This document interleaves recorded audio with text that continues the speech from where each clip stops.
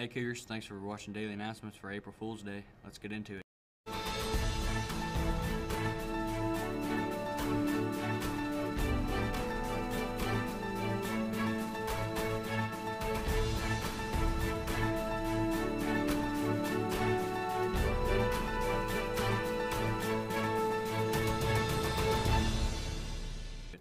Happy opening day for Major League Baseball. Best select your favorite baseball team.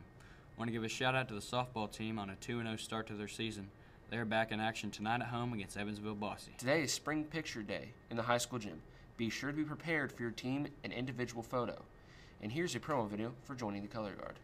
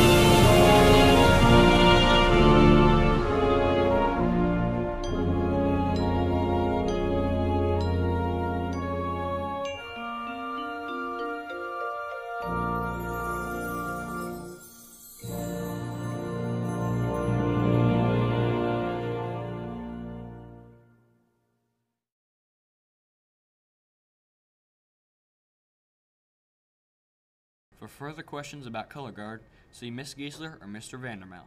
And now, here's Johnny Schaefer with today's lunch menu. Hi, I'm Johnny here with today's lunch menu, and today we'll be having potato crunch pollock with mac and cheese and beef tacos. Now here's Lane with the weather. Hello, Cougars. Today's weather is sunny with a high of 43 and a low of 21. Now on to Logan Lowe. All right, thanks Johnny and Lane, and now on to announcements. Any student wanting to participate in the immunization clinic on April 8th, please turn in your form to the office as soon as possible. For meetings today, there will be an FFA meeting during junior high ELT and also in high school ELT. Riley Dance Marathon Committee, meet in Miss Bullock's room. Well, that's a wrap, Luke. Sure thing. For birthdays today, 7th grade Addison Wagler and 8th grade Lily Huffman. Happy birthday. And we got one more thing. We're going to start doing some questions and riddles and things to make them just a little bit longer and entertain you guys some more. So, Randy, what are the questions you have for us today? First one is what has one head, one foot, and four legs? One head, one foot, four legs. What? I have no clue. One head, one foot, I feel like I'm in Wick's class. and four, four legs. I know cat has four legs, but it has four feet also. One foot. Same thing. One. I have no idea. All right, let's go to the next one. Bed. Oh, Uh, I get it. uh, He said a a bed. bed. How many letters are in the alphabet?